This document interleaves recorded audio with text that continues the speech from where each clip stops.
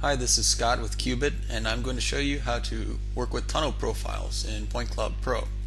You can see we have a tunnel in AutoCAD here along with a center line that was derived from the field and we're going to use our multi-slice tool to multiple slice along this center line path or curve. So what we need to do is select this curve in AutoCAD first and it gives you your starting and end point. And now I'm going to choose how often I'd like a slice along this interval. So let's say every 25 feet. You also have the option of manually inserting uh, slicing uh, points by clicking in AutoCAD or typing it into that prompt. And I'm going to keep the thickness of each slice around 2 inch thick per profile. And I'm going to go ahead and color these slices. I click finish when I'm ready and you can see multiple slices are created 25 feet from each other. And in my section manager I have a slice um, representing uh, and each uh, for each slice in the section manager there's one on the screen. Just to show you quickly uh, we're roughly 25 feet and I just chose two points arbitrarily.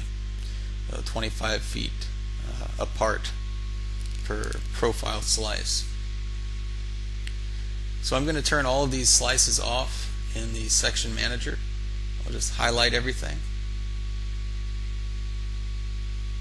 and turn one off and I'm going to choose one individual slice profile to work with at a time.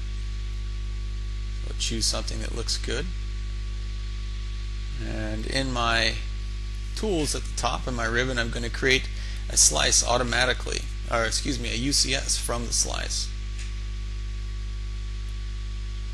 I zoom in and I can see right on the profile my UCS is set up for this view and I can easily take dimensions if I want to. So that's no problem. But I also want to show you how you can digitize these profiles easily without having to do each one by hand which can be a long process. So we're going to use the polygon fit tool and the way we start this off is I'm just going to draw a very rough sketch around the perimeter, giving the polygon fit tool a number of vertices to work with so it can choose how to fit these vertices best to this profile. And when I'm finished, I just click close. And now I hit enter. And you can see the dirty line conforms now to the point cloud.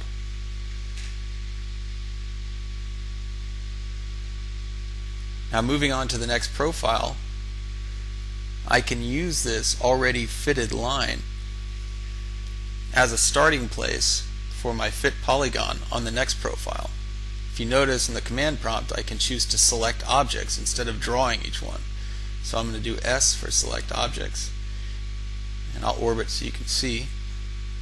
I'm going to select my previous fitted line, hit enter, and what you notice is the next profile is fit automatically and it did a best fit based on those number of vertices. So you can continue to do this for each section that you want to fit or each profile that you would like to digitize. I'll do this one quickly. Select and enter.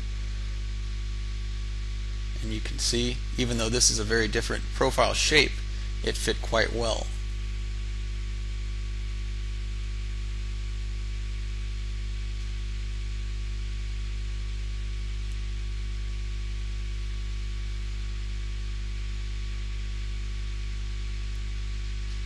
Do one more here.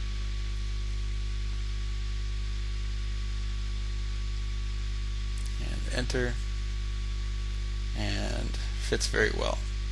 So then if you want to use your traditional AutoCAD modeling commands, let's say, to start modeling um, from profile to profile, we're going to use a, a loft command in this example. Typically you would take your time going through and fitting uh, each one of the profiles that you need, but I'm going to loft each profile to the next to start getting an as-built model of the tunnel. And of course, you can be more accurate by using cross sections more closely to each other. And I turn on all points so you can see the overlay of the cloud data with the model. Maybe change view if you want to see a, a realistic view of the tunnel. And that's all.